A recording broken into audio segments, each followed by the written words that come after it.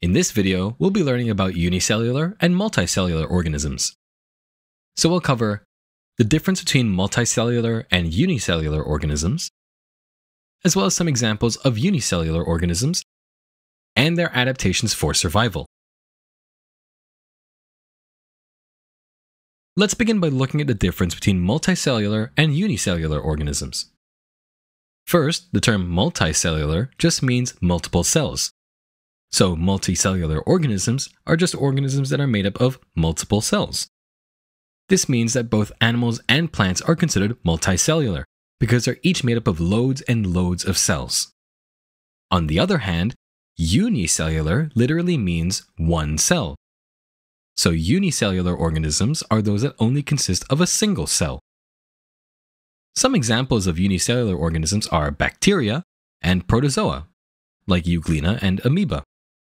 Each of these organisms is only a single cell. If you had two cells, you'd have two organisms.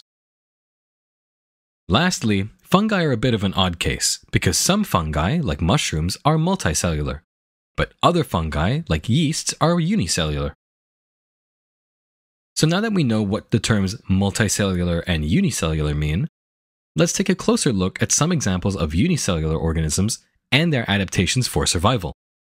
Now, we already mentioned that a couple of examples include an organism called euglena and another one called amoeba, and both of these are usually found in water.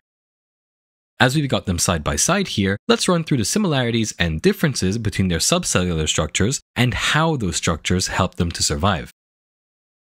Firstly, both organisms are surrounded by a cell membrane, which controls which substances can enter and leave the cell. Next, both cells also have a nucleus that contains their genetic information and controls the cellular activities. However, it's important to note that not all the unicellular organisms have a nucleus.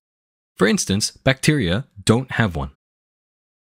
Another organelle these cells share is a contractile vacuole, which collects and expels water, and in doing so, controls the volume of water in the cell, which in turn controls its shape. Now, all of these subcellular structures that we've just mentioned are common to both cells, but each organism also has some unique structures too that make them really specialized. First up, Euglena cells have chloroplasts because, like plants, they're able to carry out photosynthesis and make their own food.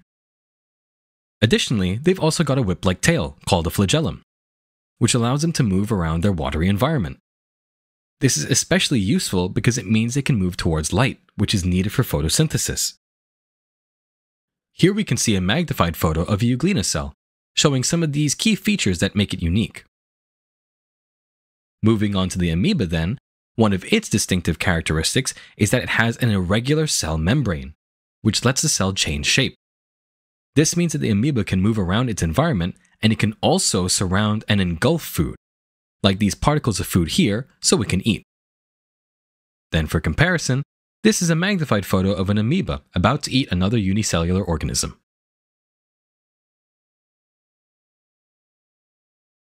If you haven't heard yet, you can find all of our videos on our website, cognito.org. You'll also find questions, flashcards, exam style questions, and past papers. And we track all of your progress so that you always know what to study next. So sign up for free by clicking here or browse our playlist here on YouTube.